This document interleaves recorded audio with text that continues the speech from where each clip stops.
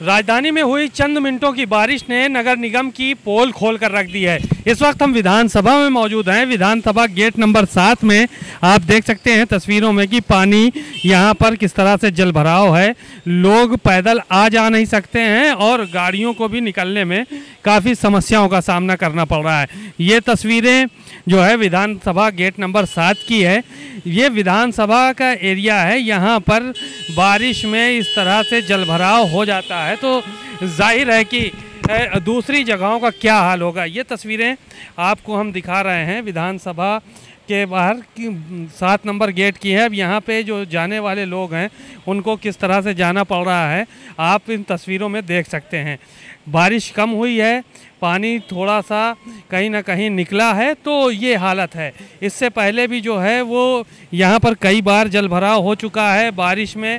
लोगों को तमाम तरह की समस्याओं का सामना करना पड़ता है, लेकिन फ़िलहाल यहाँ पे पानी निकालने की कोई भी व्यवस्था नहीं की गई है। सुरक्षाकर्मी गेट के उस तरफ़ खड़े हुए हैं।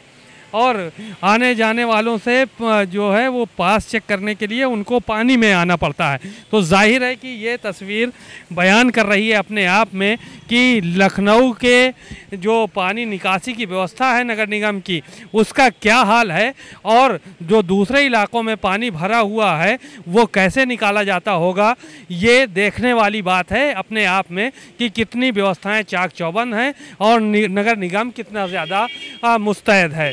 राजधानी में हुई चंद मिनटों की बारिश ने नगर निगम की पोल खोल कर रख दी है। इस वक्त हम विधानसभा में मौजूद हैं। विधानसभा गेट नंबर सात में आप देख सकते हैं तस्वीरों में कि पानी यहाँ पर किस तरह से जल भराव है। लोग पैदल आ जा नहीं सकते हैं और गाड़ियों को भी निकलने में काफ़ी समस्याओं का सामना करना पड़ रहा है। ये तस्वीरें जो है विधानसभा गेट नंबर सात की है। ये विधानसभा का एरिया है। यहाँ पर बारिश में इस तरह से जल भराव हो जाता है। तो ज़ाहिर है कि दूसरी जगहों का क्या हाल होगा? ये तस्वीरें आपको हम दिखा रहे हैं विधानसभा के बाहर की, सात नंबर गेट की है। अब यहाँ पे जो जाने वाले लोग हैं, उनको किस तरह से जाना पड़ रहा है, आप इन तस्वीरों में देख सकते हैं। बारिश कम हुई है, पानी थोड़ा सा कहीं ना कहीं निकला है तो ये हालत है। इससे पहले भी जो है, वो यहाँ पर कई बार जल भराव हो चुका है बारिश में। लोगों को तमाम तरह की समस्याओं का सामना करना पड़ता है, लेकिन फ़िलहाल यहाँ पे पानी निकालने की कोई भी व्यवस्था नहीं की गई है। सुरक्षाकर्मी गेट के उस तरफ़ खड़े हुए हैं।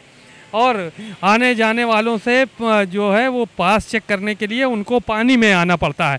तो ज़ाहिर है कि ये तस्वीर बयान कर रही है अपने आप में कि लखनऊ के जो पानी निकासी की व्यवस्था है नगर निगम की, उसका क्या हाल है और जो दूसरे इलाकों में पानी भरा हुआ है, वो कैसे निकाला जाता होगा, ये देखने वाली बात है अपने आप में कि कितनी व्यवस्थाएँ चाक चौबंद हैं और नगर निगम कितना ज़्यादा मुस्तैद है।